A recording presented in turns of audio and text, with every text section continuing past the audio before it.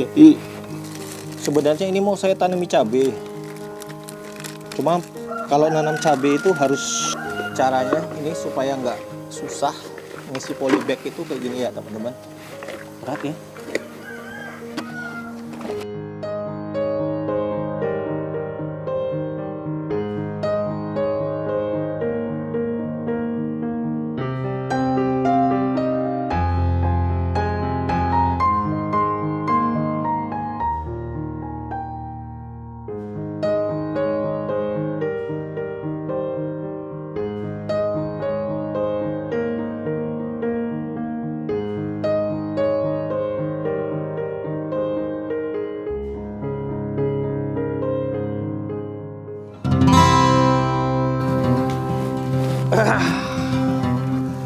Oke sahabat tani, hari ini saya sudah tanam sawi putih dengan polybag juga berwarna putih teman-teman.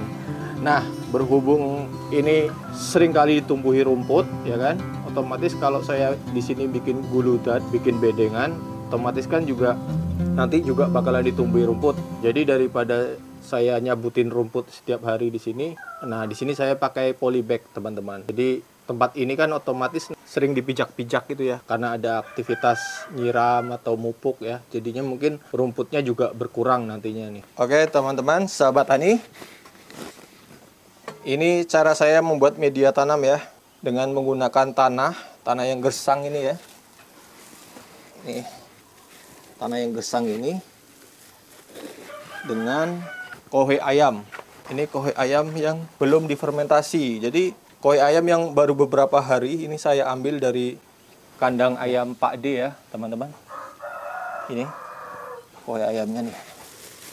Nah ini. Kayak gini nih. Jadi kita campur ini. Jadi seperempat koi ayam ini ini kita campur dengan tanah satu karung. Jadi ini media tanam yang saya siapkan ini ya untuk menanam sawi putih teman-teman. Jadi sebenarnya ini mau saya tanami cabai cuma kalau nanam cabai itu harus difermentasi dulu ya kohe ayamnya. Karena saya pikir memfermentasi kohe ayam itu buang-buang waktu. Jadi saya tanami dulu dengan sayur-sayuran. Penggunaan kohe ayam atau kohe sapi di lahan itu biasanya hasilnya tidak maksimal. Harus ditanami jenis sayur-sayuran ya. Baru nanti ditanami cabai. Jadi pupuk kandangnya itu sudah tidak terlalu panas karena sudah diambil nutrisi yang panas-panas itu sama tanaman sawi. Nah, di sini saya mempraktekkan kondisi pupuk kandang dan tanahnya ini ini udah seminggu ini ya, sahabat tani. Udah seminggu dan kelihatannya juga masih seger. Oke, sahabat tani kita tuang sini. Caranya ini supaya nggak susah ngisi polybag itu kayak gini ya teman-teman. Berat ya. Nah ini kan nyampur nih.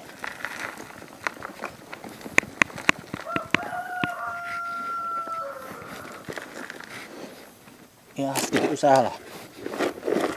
Karena kalau polybag itu dengan cangkul seperti ini nih biasanya itu polybagnya tuh nggak tepat sasaran teman-teman Oke teman-teman, jadi manfaat lain dari penggunaan polybag ini ya, saya udah uji coba itu ya kemarin itu waktu saya tanam sawi. Jadi ada sawi itu yang pertumbuhannya itu tidak maksimal ya, yang lainnya udah bisa dipanen. Nah salah satu polybag itu kelihatannya pertumbuhannya lambat banget ya tanaman sawi di salah satu polybag itu. Setelah saya cabut, saya buang, terus saya tanami cabai, pindahan dari semai ya, yang ada kemarin videonya itu. Ternyata cabenya itu sudah saya ganti tiga kali, masih layu juga. Belum mati, cuman layu. Karena masih kecil, jadi saya ganti. Layu juga, saya ganti, layu juga. Akhirnya saya buang media tanamnya itu yang di polybag. Yang bekas sawi yang tidak pertumbuhannya tidak maksimal itu ya teman-teman. Jadi mungkin itu keuntungannya menggunakan polybag menyortir media tanam itu bisa menggunakan sayuran ya teman-teman. Jadi kalau sayurannya itu tidak subur bisa jadi kalau ditanami cabai atau terong itu bisa jadi juga terongnya itu nggak sehat ya. Cepet kan? Oke teman-teman. Jadi kalau ngangkat polybag itu jangan kayak gini ya. Nanti polybagnya rusak. Kita angkat dari bawah kayak gini teman-teman. Nah ini. Nah baru ini kita rapikan kayak gini. Kalau ditarik sininya nggak bisa itu. Bahaya. Sobek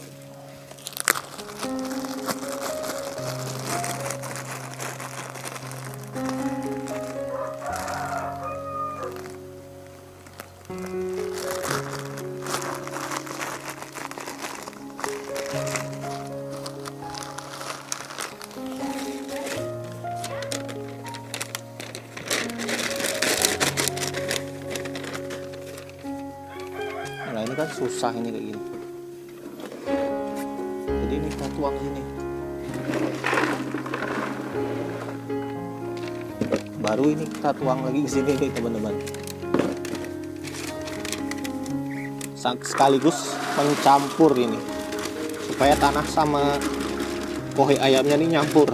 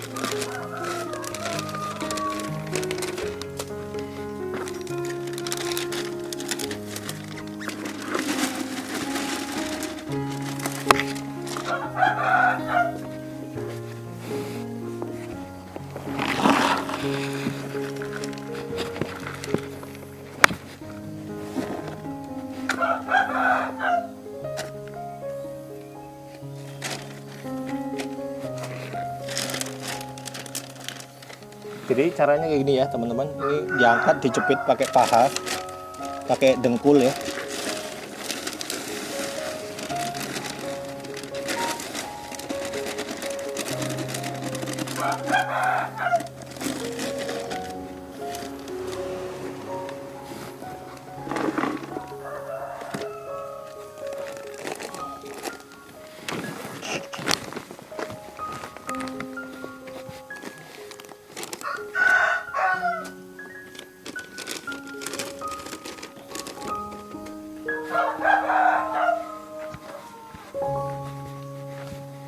di sini ini modalnya modal hemat ya untuk membuat home garden ini ya. Karena saya menggunakan benih yang 2000-an ini ya, teman-teman. Ini ya, yang pakai plastik clip ini ya. Saya kasih tunjuk ya. Nah, ini.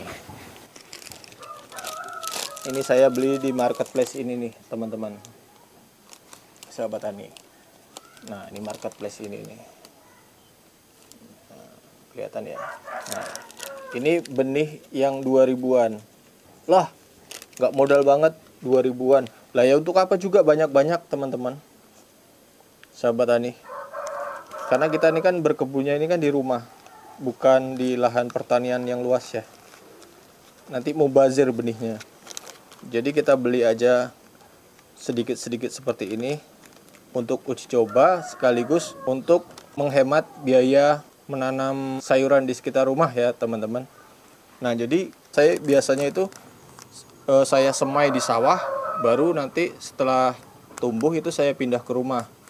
Atau mungkin di di rumah itu semai di rumah, nanti kalau udah jadi sebagian dibawa ke sawah. Nah nanti baru bisa ada sisa-sisanya itu itu bisa untuk dibawa ke rumah atau yang di yang di sawah dibawa ke rumah. Itu persemaian persemaian benih-benihnya ya teman-teman. Bercocok tanam itu seperti itu. Kalau nggak menggunakan benih dari sawah ya yang ditanam di sawah sama-sama dengan bapak. Nah kalau nggak ya beli sendiri ini sedikitan aja seperti ini. Karena biasanya juga kalau di rumah itu yang semai di rumah dibawa ke sawah sebagian lagi kita saya tanam di rumah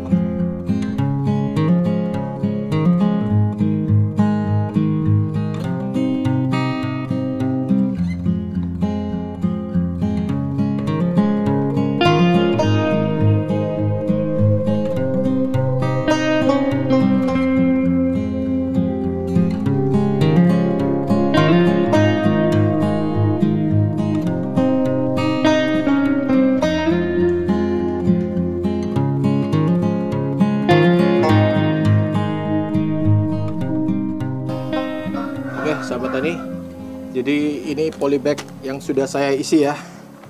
Ada 30 polybag ukuran 45 kali 45 Jadi kenapa saya pilih polybag 45 kali 45 Pertama ini bisa untuk media tanam lain ya. Sejenis tanaman yang lebih panjang umurnya Tanaman sayuran juga. Kayak tom, kayak seperti terong cabai dan tomat ya. Tapi ini untuk menetralisir amoniak dan bibit-bibit penyakit. Ini kita tanamin dulu nantinya dengan sayuran ya. Sayurannya itu seperti sawi atau mungkin juga kangkung. Tapi ini saya sudah beli bibit sawi ya, sawi putih. Nah, jadi sawi putih ini nanti kita tanam terlebih dahulu. Nanti kita juga menggunakan pupuk organik cair ya supaya bahan-bahan organiknya ini terurai. Sekaligus mengurangi panasnya ini tidak dengan fermentasi ya. Jadi fermentasinya itu secara alami. Jadi mm, pupuk organik cair nanti yang saya buat dengan E4 itu saya kocor di sini ya. Mudah-mudahan ini nanti kohe ayamnya ikut terurai ya sahabat tani sehingga nanti kalau tanam terong ataupun tanam cabai rawit itu sudah stabil ya tanahnya. Mungkin itu ya sahabat tani untuk hari ini. Maaf banget ini capek ya menges ini